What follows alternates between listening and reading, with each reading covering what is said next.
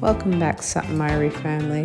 In this video we are on our way to our first corporate private event in Tampa from Orlando.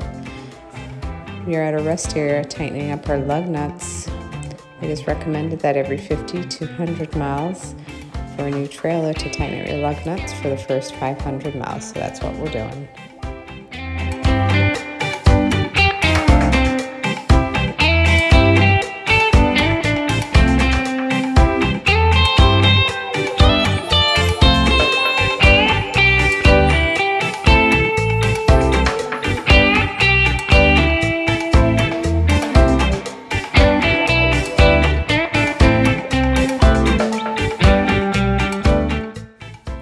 So on the menu for the meats, we had some barbecue pork ribs.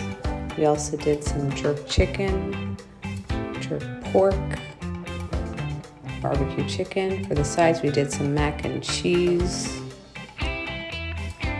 coleslaw, and of course, we had to do some rice and peas.